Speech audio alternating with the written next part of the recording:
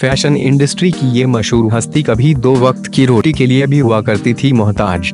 अपनी आँखों में सुनहरे भविष्य का सपना संजोकर ना जाने कितने ही लोग सपनों की मायान गरी मुंबई का रुख करते हैं, लेकिन यहाँ हर किसी के सपनों को उड़ान नहीं मिलती है।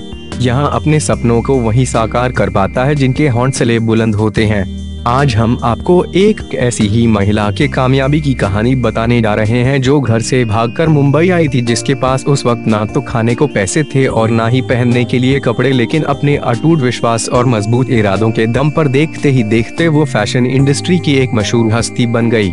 बॉलीवुड एक्ट्रेस से इसकी ड्रेस करती हैं। डिज़ाइन कामयाबी की ये दिलचस्प कहानी है फ़ैशन इंडस्ट्री की जानी मानी हस्ती वैशाली शंडागुले की।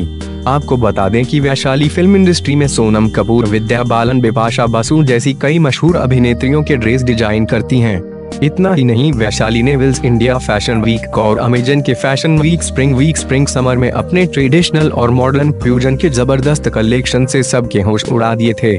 18 साल की उम्र में खाली हाथ घर से भागी मध्य प्रदेश के छोटे से शहर विदिशा के एक रूढ़ीवादी परिवार से ताल्लुक रखने वाली वैशाली शंडागुले जब 18 साल की थी, तब उनके घर वाले जबरन उनकी शादी कराना चाहते थे, लेकिन शादी से बचने के लिए वो खाली हाथ घर से भाग निकली, तब उनके पास ना तो खाने को पैसे थे और ना ही कपड़े थे। वैशाली बगैर पैसों के घर से भागकर स्टेशन पहुँची और वहाँ उन्हें मुंबई की ट्रेन मिली जिसमें बैठकर वो सीधे मुंबई पहुँची। हालाँकि कपड़ों की पहचान उन्हें अपने पिता से विरासत में मिली थी, इसलिए वो इसी क्षेत्र में अपने सपनों को नई उड़ान देना चाहती थी।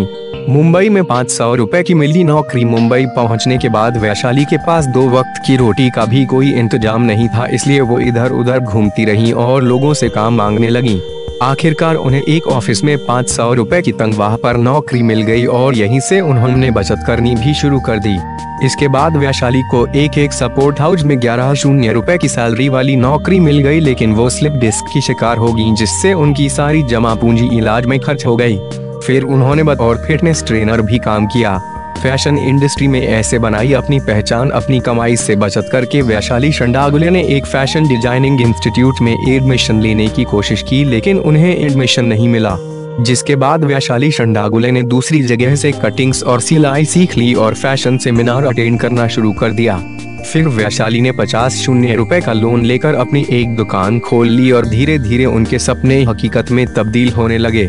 आज वैशाली शंडागुले तीन मंजिला शोरूम की मालकिन है। चंदेरी सिल्क और कॉटन के फ्यूजन कपड़े डिज़ाइन करके उन्होंने फ़ैशन इंडस्ट्री में अपनी एक खास पहचान बनाई है।